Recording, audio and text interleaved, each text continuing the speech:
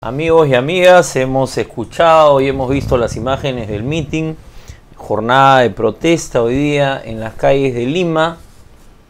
Yo antes de comenzar el programa estuve viendo el noticiero de Canal N y durante 12 minutos Jessica Tapia se dedicó a hablar pues de las pintas en la base al monumento de Don José de San Martín. Carlos, ¿no has estado en la marcha? No estuve, estaba haciendo otras cosas. Bueno, es un milagro que Jessica Tapia logra grabar 12 minutos seguidos, ¿no? Para Eso que ya- veas. Eso ya es significativo. Así es. Carlos, ¿cómo ves la situación? ¿Cómo es la coyuntura política nacional? Vamos a hablar sobre, sobre Venezuela también, pero ¿cómo estás viendo el escenario? Hoy día se anunció que Víctor Isla eh, es el candidato a la presidencia del Congreso de Gana Perú y a los pocos minutos Alejandro Toledo dijo que no le gustaba el candidato Isla por su chavismo. Eh, ¿Cómo ves el escenario? Antes que nada, justo hablando sobre Víctor Isla. Claro, Víctor Isla era uno de los congresistas más ideologizados del, del primer periodo de, de nacionalismo, del 2006 al 2011. Llama la atención cómo, claro, mientras Humala toma una postura mucho más alejada de lo que uno podría llamar de izquierda, eh, Isla siguió como parte del grupo. Eso es, digamos, un indicador de lo veces poco sólido ideológicamente que puede ser el Partido Nacionalista. Ahora, viendo el tema de coyuntura, al menos, digamos, tú me fuera, eh, pero lo que da la impresión es de estar bastante entrampado. Es decir, ha pasado ya casi un año el gobierno de Humala y va a recordarse como casi el año de Conga, ¿no? Eh, Eso por una parte. Por otra, sí, el- es, un, es un presidente que se ha quedado casi con, digamos, con los apoyos, con cada vez menos apoyo. Menos apoyo no, no me refiero a, digamos, a las encuestas que suele gustarle concretamente, digamos, a veces a la gente de la presidencia del Consejo de Ministros, que, digamos, trabajan empeñadamente para eso. Porque Sí, las encuestas dicen que la mano dura, que, que falta mano dura. No, y seguramente que tiene más de, más de 50% de apoyo, pero la contraparte es, aunque no lo tiene. Pero la contraparte es que, claro, no tiene esos, entre comillas, naturales que da la izquierda inicialmente, ha perdido, por otra parte, o digamos, tiene en tensión la relación con Perú posible. En buena cuenta, un sector importante que lo apoya, como son los llamados grupos de poder, lo apoyan y los, no lo sostienen, pero digamos, perfectamente si Humala se quema, no van a meter la mano, ¿quién no no meter la mano al fuego por él? Digamos, si Humala comete un error serio, ¿quién podría meter las manos al fuego por el presidente? Yo no encuentro a alguien. ¿Tú no crees que Álvaro Vargas Llosa va a venir a salvarlo si, si eso pasa? Bueno, picamos, ahora que sería casi el capaudaz salvando al presidente, ¿no? Digamos, por esa parte no hay un, digamos, ahora Gallosa, digamos, pasada campaña, ¿quién convence, no? Sobre eso, ¿qué pasa si el gobierno pierde la presidencia del Congreso? Porque las declaraciones de Toledo criticando a Isla son una señal de que las cosas no van bien por ahí. ¿Qué, puede pasar si se elige a Víctor Andrés García Belaúnde o a, a cualquier otro candidato de la oposición? O depende de quién sea, ¿no? Creo que Andrés García Belaúnde, a diferencia quizá de otras figuras que podrían estar en la presidencia del Congreso de parte de la, por decirlo de alguna manera, oposición, es una persona mucho más, a pesar de sus rabietas, una persona más sensata que otras, quizá que puede servir como una, hasta una bisagra en buena cuenta. Pero una bisagra Muy, muy lejana. al- ¿hacia dónde? ¿Hacia el gobierno o hacia Entre ambos lados, es decir, tú te imaginas a otra persona que no sea Vitocho en la presidencia del Congreso, no sé, digamos, no sé, digamos, mm, No me imagino a Javier Descansé con la presidencia del Congreso. No, digamos, a lo justo es el presidente del partido, ¿no? Este, pero no te imaginarías a alguien del APRA, por ejemplo. Pero digamos, dentro de toda esa gama que uno puede encontrar, García Belaunde, ¿Podría, ¿Podría llevar una buena relación con el Congreso? ¿No sería un peligro ante una crisis política mayor? bueno, es dramático de por sí que pierdas el Congreso el primer año, ¿no? Eso ya es este. Por eso. Es, este, eso ni lo pasa, creo que ni a Belaunde le ha pasado. Eso es. No, a Belaunde le censuraban los ministros este, cada cuatro o cinco meses los apristas, ¿no? Pero este Claro. gobierno este, usa como fusibles a sus primeros ministros, digamos. No, no necesita que los censuren. Se censuran solos, digamos. Sí, ahora, sería un escenario bastante complicado. Yo, eh, si bien es cierto que es uno de los escenarios posibles, también en buena cuenta es quizá arriesgado lanzar este Ese tipo de- proyección. Sí, pero yo inicialmente, digamos, una hipótesis inicial era que Perú posible, o en este caso Alejandro Toledo, una persona que tiene como uno de los puntos preferentes el tema de estabilidad en general del, del régimen, podría tentar dar un apoyo extra, extender el apoyo al, al Partido Nacionalista o a Gana Perú en, este, en ese segundo año para mantener un poco todavía que las cosas no se escapen, ¿no? que no, se, no se rebalse el agua de la olla.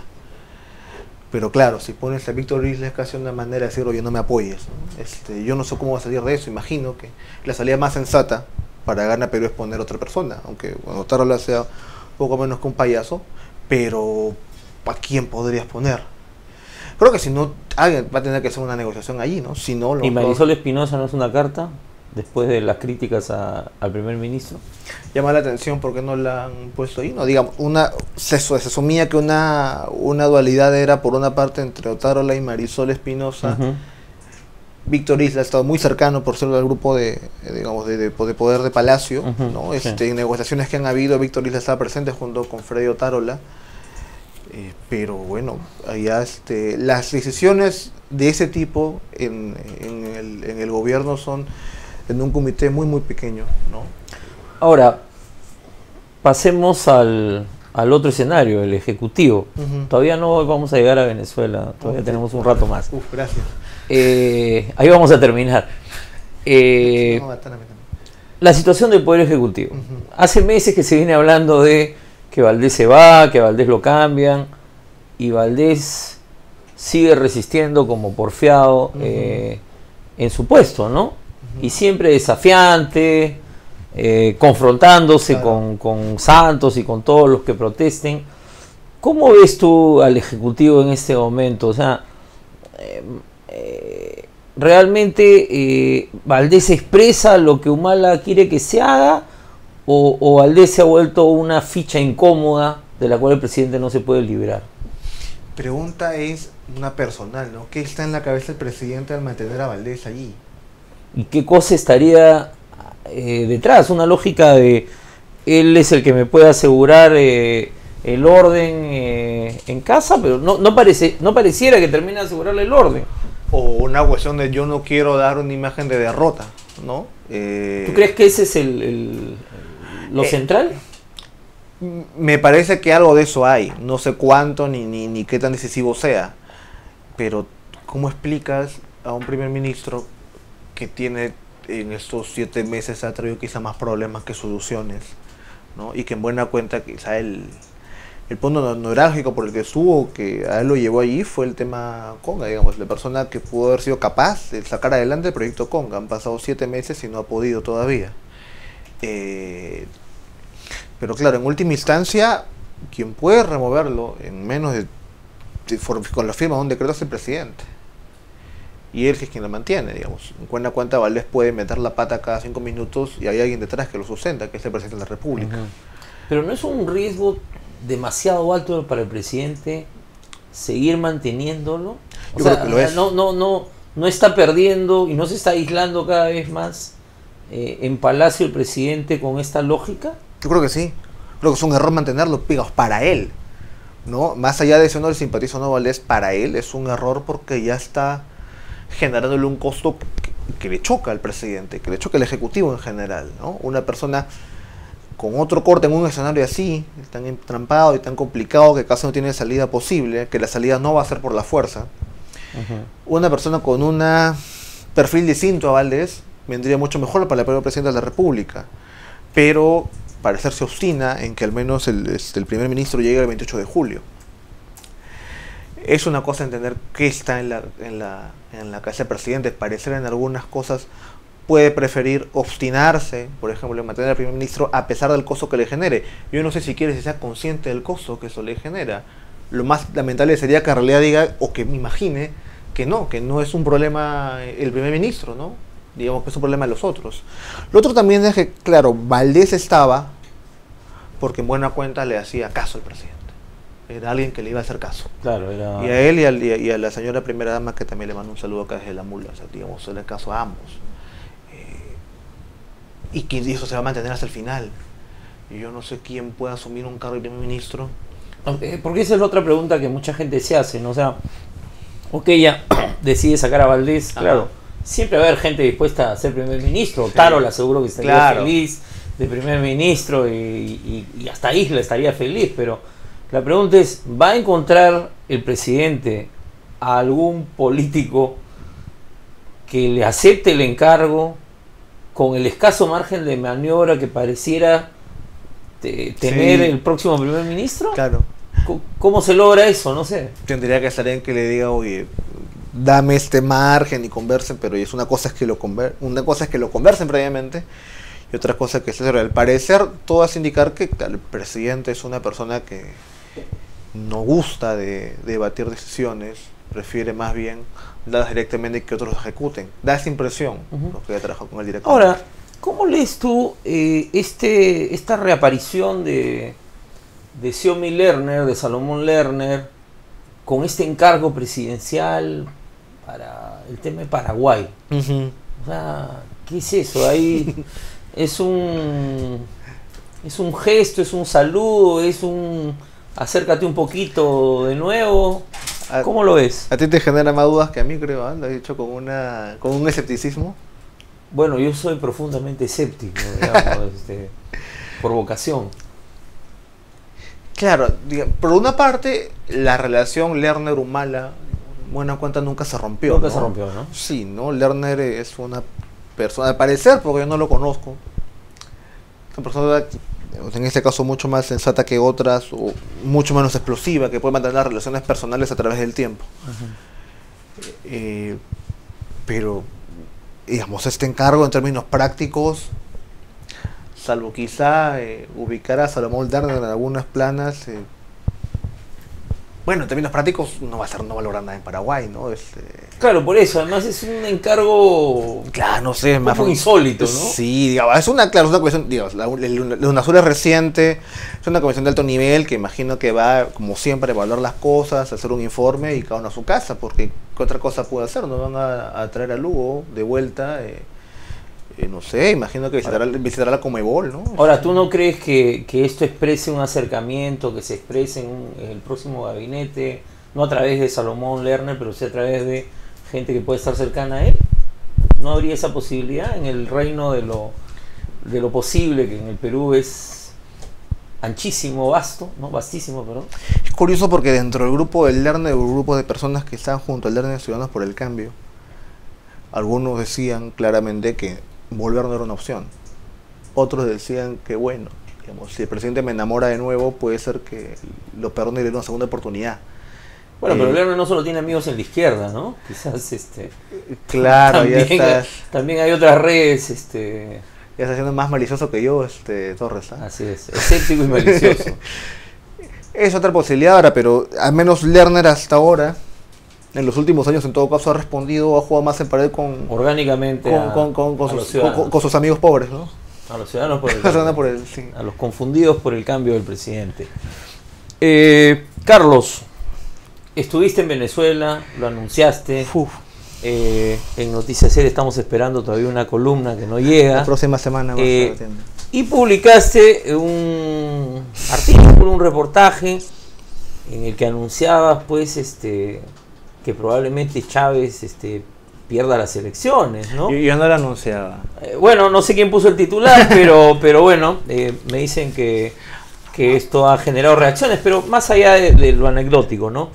Eh, tú planteas ahí un cambio en la lógica de la oposición venezolana, que para mí es lo más interesante, digamos, de, de, este tema, ¿no? Sí.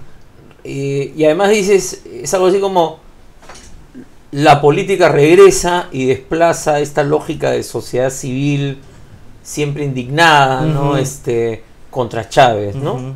Y que tenía una actitud bastante antipolítica. Es, entendí bien lo que, lo sí, Este, ¿Tú crees que realmente eh, esta, este, esta nueva alianza que se ha hecho contra Chávez eh, tiene posibilidades de derrotarlo o es un proyecto a, a mediano plazo o a largo plazo? Mira, si tú revisas las últimas elecciones en Venezuela, eh, cada vez el margen de diferencia entre la oposición y el oficialismo se, disminuye. En las últimas elecciones, las elecciones de, los años 2010, la oposición obtuvo más votos sumada que el, que el oficialismo, que el PSV. Sin embargo, Igual del oficialismo obtuvo más, fue las elecciones congresales del año 2010. Sin embargo, igual del oficialismo eh, obtuvo mayor cantidad de escaños, ¿no? Pero si tú sumabas, lo- los votos eran casi 50-50. ujú. Y eso es una tendencia de 2007 en adelante. Desde el año 2006, en el cual Chávez gana largamente a Rosales por más de 20% de diferencia, en adelante, en los resultados electorales, la diferencia cada vez viene Se siendo va menor. reduciendo. Ahora, también es cierto que son elecciones, aunque son plebiscitarias, porque en Venezuela las elecciones son plebiscitarias, es decir, Claro. referéndum, este, municipales, todas son, estás a favor o en contra del gobierno. Igual ahora el candidato es Chávez. Y eso es, Chávez tiene un capital político que excede al gobierno. Es una cosa que a veces de fuera no se nota. Pero hay gente que puede criticar al gobierno y no criticar al presidente. Que puede decirte el gobierno falla aquí, aquí, acá, el círculo del presidente es así, así, así, pero el presidente no tiene la culpa. Y es un grupo que no es una, dos, tres personas, es un porcentaje significativo del electorado.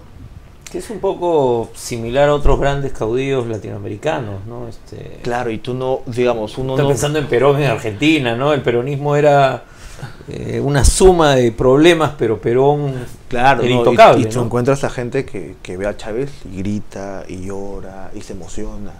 Eh, en, en la- en el, en, en el meeting de presentación de la candidatura de Chávez el 11 de junio, es más, cuando hacían las, eh, el, el paso de las arengas, ¿no? Viva el gobierno, viva la revolución. Viva Chávez. Y el grito era mayor y la gente, y cuando se acerca Chávez, mi presidente, hay toda una, una gama de emotividad muy fuerte, ¿no? Que, en buena cuenta también puede llevar a lo que uno llama el voto chavista duro, que es alrededor Y- del y- 20%. Y, que se construyó sobre este Chávez que vemos hacia afuera o el Chávez que este, se enfrenta hacia afuera, digo, en su enfrentamiento con los Estados Unidos, o es este Chávez que se preocupó por los pobres de Venezuela. Tiene ambas, pero el- el- los de- la división en Venezuela, aparte de, digamos, aparte de otros estadísticos que efectivamente reafirman lo que, lo que uno ve, pero muy visualmente tiene un componente de clase. Muy fuerte, ¿no? Sí, es decir, eh, aunque, sea, aunque los últimos años se ha venido disminuyendo, pero de manera tenue, eh, la división de clase es una cuestión que le tenía Chávez en su discurso, que es un discurso que bien que de populista pasó a más marxistón, ¿no? Sí. Pero manteniendo la, la- el equilibraje de clase y que efectivamente tiene un correlato práctico en las votaciones, en las, Claro. en la- en las zonas, en los barrios, en la periferia de Caracas, la votación por Chávez era largamente superior, era enorme, digamos, mayoritaria, más del 80%, Ujú. y en el este caraqueño, en las zonas ricas, Claro. la oposición ganaba casi 95, 90%. Ahora, pero esto estaría cambiando, digamos. Lo que, claro, ahora, por una parte porque la diferencia con respecto a antes es menor, el, eh, ha, habido un, ha habido un desgaste y quizá podría llevarme a decir que el segundo gobierno de Chávez ha tenido mucho más traspiés de lo que quizá él imaginó. No ha tenido los resultados que tenía el primer gobierno. Ok. En el primer gobierno ha tenido resultados sociales en los últimos dos años del primer gobierno impresionantes, que dieron un empuje muy fuerte. Que- pero que además es normal, porque el- siempre en el populismo, tú, en los gobiernos populistas Claro. tienes un momento de pico y después Sí. este Eh, se mantiene la legitimidad, pero va bajando, digamos, ¿no? No puedes sostener. Pero ah, me parece que más acá está vinculado además en, digamos, es que claro, uno puede muy fácil caer en la magia, la retórica socialista. Yo, me considero socialista, así que también me considero También casi- caes casi- a veces Me caigo, sí, me, me, Sí. me enamoro fácilmente. Pero paralelo a la retórica socialista que ha venido tomando el presidente Chávez, también ha habido en paralelo eh, ineficiencia en el gasto público, filtraciones, casos de corrupción, que empañan en buena cuenta ese capital que tenía en el primer gobierno, ¿no? Entonces, claro, uno puede decir, en buena cuenta si se ha radicalizado, sí, yo siento que se ha radicalizado comparado con los últimos años, verbalmente también, pero esto ha bajado a raíz del cáncer. El cáncer lo que hace es que la cosa se vaya un poco más para atrás, ¿no? Eh, Chávez cambia las consignas, el patria socialismo muerto lo esconde y opta por un viviremos y venceremos y ya no está tan pendiente de todo, ¿no? Ha terminado de elevar Claro, algunas pierde el cosas. control sobre ciertos aspectos. Sí, sobre el algunas, campo de la política, sobre ¿no? algunas cosas sí. Y también baja al menos su propia retórica, Ujú. al menos en ese momento, digamos, hasta ahora Sí. No tiene la- el nivel de confrontación que tenía desde el 2011, inicios de 2011, ¿no? El, el- el cáncer empieza en mayo o junio. Claro, pero ahora ha dicho que ya está bien de salud. Ok. En todo caso ya están dando las cadenas largas, ¿no? El otro este, ya, Sí. ya está hablando más de una hora, que él evitaba un poco hacerlo. Él ha reaparecido recién desde la ejecución de la campaña. Este, las, en las anteriores semanas no se le veía mucho, apareció una vez sentado Eh, y comenzó a especularse mucho de si el presidente podía o no podía caminar. Ujú. Viene la ejecución y da un discurso parado de dos o tres horas. Claro.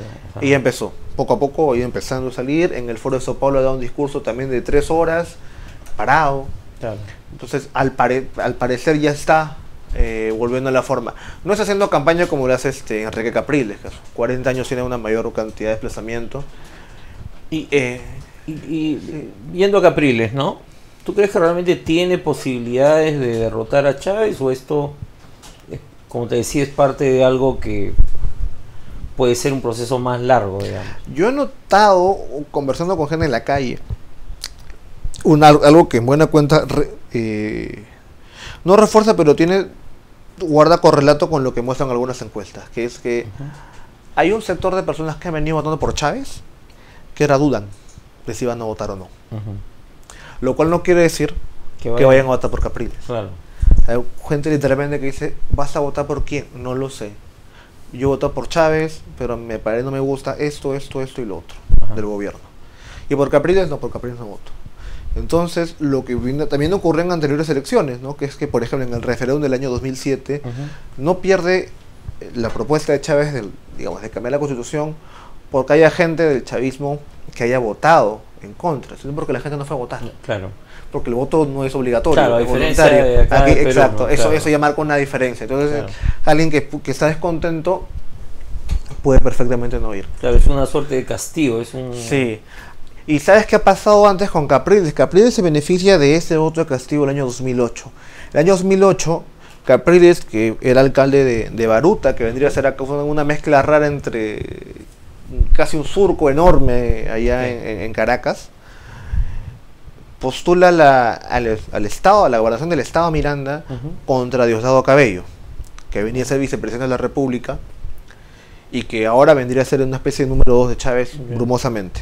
Y él era además gobernador. El, Estado Miranda, así como tiene zonas como Baruta, que digamos de clase media alta, también tiene a la vez, por ejemplo, el barrio de Petare, es un barrio enorme, de más de un millón de personas, en el cual ha sido invasión de Chávez. En esa mezcla, en teoría, digamos, Cabello, que ya había ganado, tenía Debía ser reelecto. perdió. Y perdió en buena cuenta porque también hubo gente que votaba por Chávez que decidió no ir a votar por Cabello. Porque nos consideraban que había hecho un- un- un mala, una mala Sí. gestión. Entonces, Capriles gana en buena cuenta también. No, no, no, solo porque ahí tenía una, o hizo una buena campaña, sino también porque hubo gente que pudo haber votado por Cabello, pero prefirió no hacerlo. No digo que esto ocurra eh, en el caso, en, en el en, esta situación, porque con Chávez es distinto. Chávez tiene un magnetismo que no tienen otro tipo de, personas. Pero es una posibilidad. Las, las encuestas hablan de una diferencia alrededor de 10%. Algunos dicen 5, pero en general uno podría ubicarla en 10%. ¿no? Las encuestas del, del propio oficialismo hablan de 25%. Pero en todo caso, que Chávez está adelante, está adelante. Que Chávez es un mejor candidato que Capriles, yo creo que es un mejor candidato que Capriles, en el sentido en que tú vas y que te puede convencer más es más uno que otro.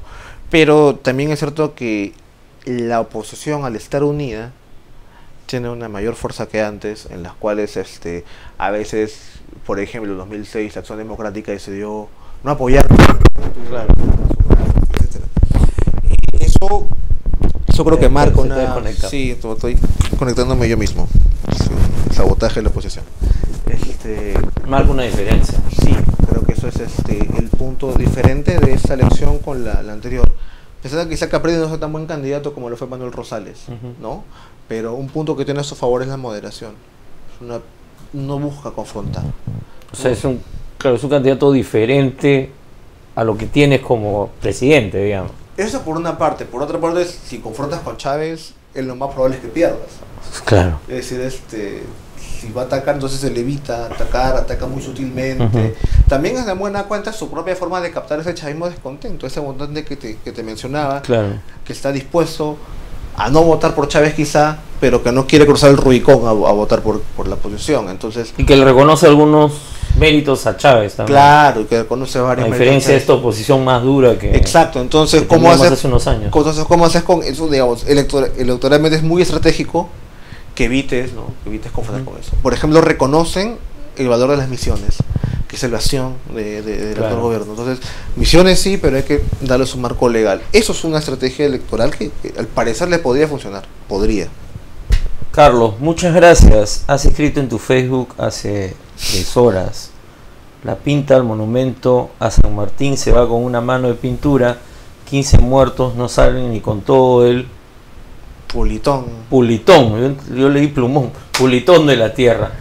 Carlos, ¿a ti te parece una ofensa al Libertador San Martín que se haya pintado la base del monumento? Porque no han pintado al, al monumento, ¿no? No han pintado el caballo ni a, San Martín. Sí. ¿Te parece una cosa que ameritaba la reacción que se ha escuchado del ministro de Cultura, la alcaldesa y, y otras personas más? Y ese Catapia, ¿no?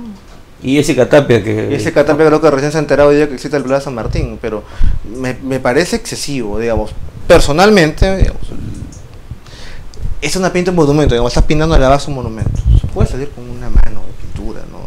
Ahora, pero también me parece, aparte de eso, que no justifico el acto, sino que me parece que hacer eco de eso me parece totalmente exagerado. Claro. También es hay que ser bastante, bastante torpe, este, por no decir débil, para hacer esa pinta en plena marcha, a sabiendas que te van a sacar, que tienes una cámara al costado, porque además la, la, la muchacha que pinta sale con la cámara al costado, con una cartel que dice Sí, de, de Tecne, sí, ¿no? Digamos, sí. en, la, Sí. en la época de tu generación era distinto, al menos se tapaban, ¿eh? como para que lo saca públicamente. No, además eh, en el 80 yo me acuerdo que Confesiones. la izquierda Torres. tuvo cinco mítines seguidos, el famoso mítin de Horacio Ceballos con el fusil de fusil palo. de palo en mano y todos los, en todos los mítines se pintó el monumento, pero claro, nadie, nadie veía quién era el que estaba pintando el monumento. ¿no? porque no tienen que Eh, ver, ¿no? Pero claro, realmente es un poco exagerada la reacción. ¿Cuántas veces has visto tú que se ha pintado la base del Monumento a San Martín? Bueno, yo lo he visto bastante. como 40 veces y Monumento Así es,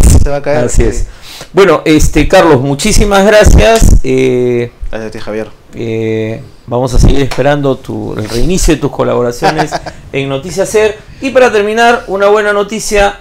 Aldo Santos desde Cajamarca, eh, perdón, desde Chiclayo, me acaba de informar que el fiscal dio la orden de liberar a los 38 detenidos el día de hoy en Chota y que en, unos, en algunos minutos estarían siendo liberados.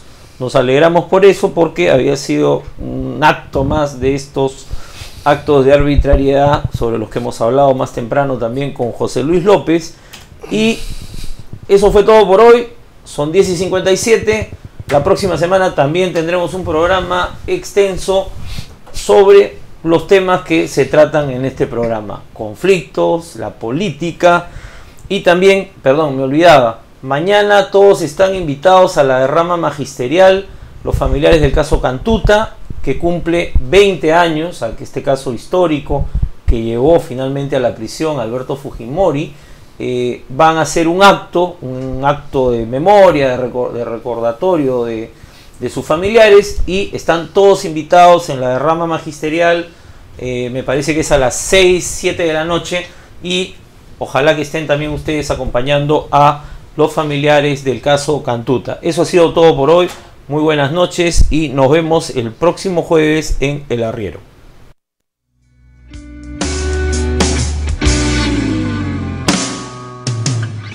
Es bandera de niebla su poncho el viento.